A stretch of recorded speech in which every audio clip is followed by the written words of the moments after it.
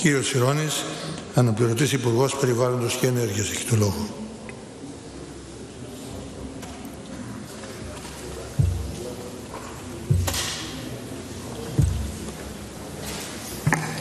Ευχαριστώ κύριε Πρόεδρε που με προσφωνήσατε και με το μικρό μου όνομα. Ε, αναγκάστηκε πέρα το λόγο παρά το γεγονός ότι άκουσα προσεκτικά τις δηλώσεις ε, και τις αγορεύσεις των Υπουργών και νομίζω ότι έχουν καλύψει απόλυτα το ζήτημα αλλά ακούγονται ορισμένα πράγματα τα οποία χρήζουν διευκρινήσεων. Γίνεται μια απεγνωσμένη προσπάθεια να γίνουμε όλοι ένα. Να ταυτιστούμε με το φαύλο παρελθόν. Χθες, αγορητής Νέας Δημοκρατίας ανέφερε, καταγγέλλοντας εδώ πέρα στη Βουλή, ότι το Υπουργείο Περιβάλλοντος πληρώνει 2 εκατομμύρια το μήνα ενίκεια. Και δέχτηκα οχλήσεις, εύλογες οχλήσεις, καλά τι είναι αυτά που κάνετε. Φυσικά κανείς δεν κατάλαβε ότι αυτές οι σκανδαλώδους συμβάσεις έχουν υπογραφεί επί παρελθόν κυβερνήσεων και εμείς πάμε να τις καταργήσουμε τώρα. Πάμε να δούμε τι θα κάνουμε με αυτά τα ενίκια. Υπάρχει ενίκιο λοιπόν πραγματικά 27 ευρώ το τετραγωνικό μαζί με τις αποθήκες. Και ρωτάω, να μην πάμε στη σκανδαλολογία τη γνωστή, τα πήρε, δεν τα πήρε, τι έγινε με αυτόν που είναι υπεύθυνος και το δημόσιο υπάλληλο και το πολιτικό του προϊστάμενο.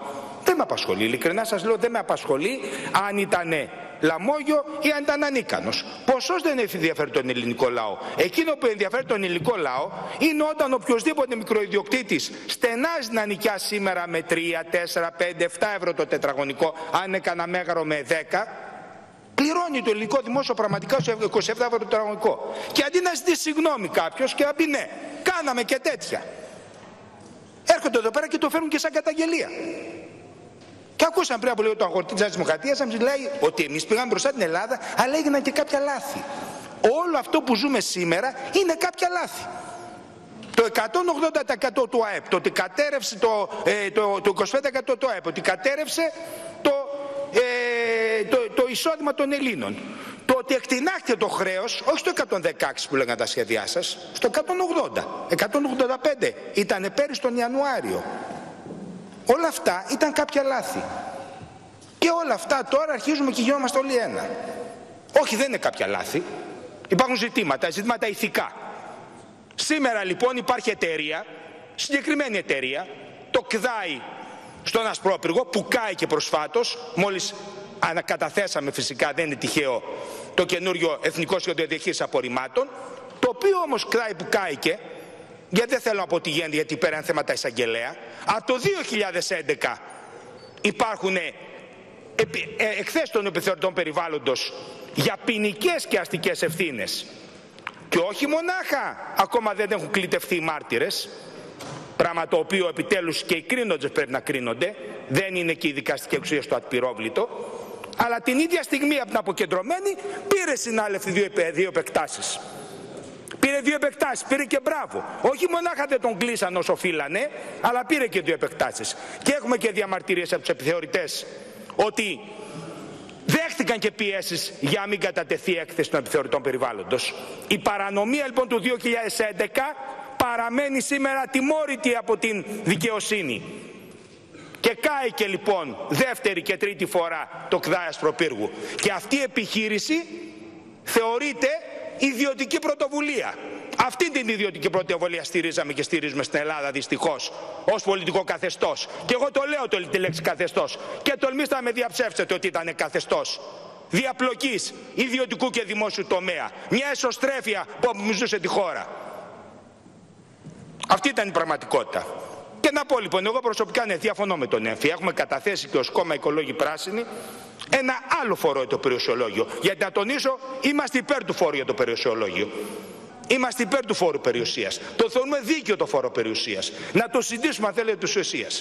Αυτός λοιπόν ο έμφυα, ο έμφυα δεν είναι φόρος περιουσίας. Δεν είναι ικανοποιητικός, δεν είναι δίκαιος φόρος περιουσίας. Να το συζητήσουμε αν θέλετε. Είναι όμως δυνατόν γιατί εντάξει, εμείς απολογηθήκαμε και κριθήκαμε στις τελευταίες εκλογές ότι δεν προλάβαμε να το αλλάξουμε αυτό τον άδικο φόρο περιουσίας. Είναι δυνατόν να ακούω κριτική από τους βουλευτές που τον δημιούργησαν και τον εψήφισαν και τον έφεραν στη Βουλή όταν το φέρανε. Γιατί αυτή η κριτική δεν έγινε τότε όπως την κάναμε και εμείς; Να ήταν ένας άλλος φόρος περιουσίας. Όταν ψηφίστηκε. Καλά, εμείς απολογούμαστε που δεν τον αλλάξαμε. Δεν προλάβαμε να το αλλάξουμε. Εσείς που το ψηφίσατε έρχεστε σήμερα και ακούω λάβρους να μας λέτε πόσο άδικος φόρος είναι και πόσο εξομοιώνει το μεγαλοξενοδόχο στη Σαντορίνη με τον ίδιο, το μικρό αγρότη στο ίδιο νησί που έχει ένα, ένα χωραφάκι πάνω στο βουνό. Ναι, είναι άδικος φόρος. Να το συζητήσουμε. Αλλά μέχρι ενός ορίου κριτική. Γιατί εσείς τον εφέρατε. Λοιπόν, να ξεκαθαρίσουμε κάποια πράγματα, να μιλήσουμε λίγο πολιτικά. Λίγο πολιτικά, γιατί όλα αυτά δεν είναι πολιτικά, όλα αυτά είναι ποδοσφαιρικά. Πάρα πολύ απλή ερώτηση. Ναι, όλοι μας βρεθήκαμε την πλάτη στον τοίχο. Θέλετε, θέλετε κάναμε λάθος διαπραγμάτευση, ό,τι θέλετε πέστε. Αυτά τα έκρινε ο ελληνικός λαός. Θέλετε, δεν πιστεύουμε σε αυτά μας λέει η συντρόφισσα του Κουκουέ. Να το δεχτούμε και αυτό. Δεν πιστεύουμε σε μια τέτοιου τύπου οικονομία. Ωραία, βρεθήκαμε λοιπόν στην κοινή θέση τον Αύγουστο και τον Ιούλιο να δεχτούμε μια επαχθή συμφωνία. Δεν είναι αυτό που θέλαμε, ας δεχτούμε ούτε ότι τι θέλατε. Θέλατε κάτι καλύτερο. Αν όμως είχε περάσει το ναι στο δημοψήφισμα, η συμφωνία θα ήταν η πεντάμινη συμφωνία του κ. Γιουνκέρ. Και σας ρωτάει το πεντάμινο τώρα ο Σονούπο θα έλεγε. Τότε τι θα κάναμε; Ας υποθέσουμε ότι κερδίζετε τις εκλογές. Τι συμφωνία θα φέρνατε; Ωραία, κάποιο νόμο εφαρμοστικό θα φέρνατε κι εσείς. Να δούμε λοιπόν τι θα έλεγε αυτός ο νόμος. Να το κουβεντιάσουμε λίγο. Τι θα έλεγε άρα για αυτός ο νόμος. Να σας πω εγώ λοιπόν τι θα έλεγε. Γιατί η κόντρα είναι συγκεκριμένη.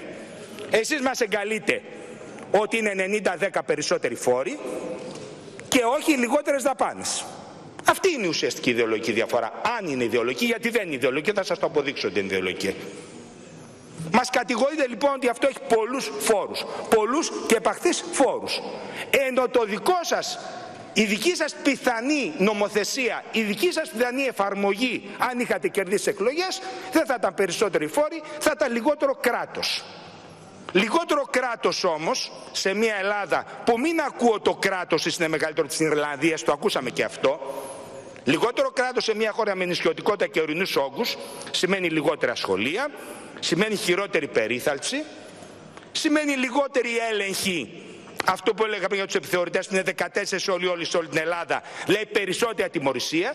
Σημαίνει πολύ μεγαλύτερη καθυστέρηση στην έγκριση των πολεοδομικών σχεδίων, στην έγκριση των γενικών πολεοδομικών, στην έγκριση των χωροταξικών σχεδίων, σημαίνει ότι αυτή τη στιγμή αυτό που σήμερα στο δικό μου τουλάχιστον Υπουργείο είναι τελείως αποψηλωμένο και δεν μπορεί να εξυπηρετήσει τον επιχειρηματία και τον πολίτη, θα ενταθεί.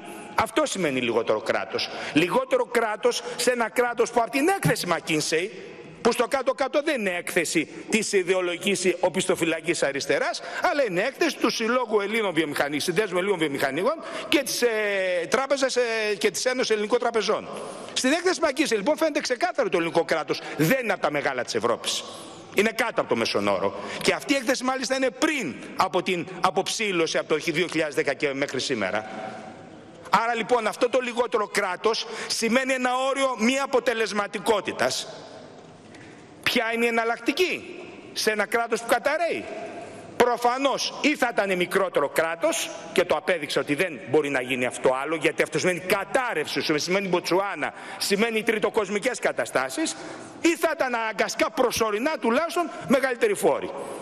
Και εδώ πέρα λοιπόν εγώ αντιπροτείνω το τρίτο μοντέλο και το τρίτο μοντέλο είναι αποτελεσματικότερο κράτος. Αλλά αυτό βέβαια δεν έρχεται μαγικά ραβδάκια, ούτε έρχεται σε μία και δύο μέρες, ούτε έρχεται σε ένα μήνα. Γι' αυτό ο ελληνικός λαός ξανά δώσε την ψήφο στο ΣΥΡΙΖΑ. Το έδωσε γιατί τον εμπιστεύεται ότι δεν θα φέρει αυτό το φαύλο κράτος που κυριαρχούσε τόσα χρόνια. Γι' αυτό το λόγο πιστεύει ότι ο ΣΥΡΙΖΑ έχει το ηθικό πλεονέκτημα να κάνει το αποτελεσματικότερο κράτος. Αυτό περιμένει και ο ιδιωτικός τομέας, αυτό περιμένει και ο πολίτης. Σας ευχαριστώ. Ευχαριστώ πολύ κύριε Υπουργέ και για τη συνέπεια του χρόνου ιδιαίτερος.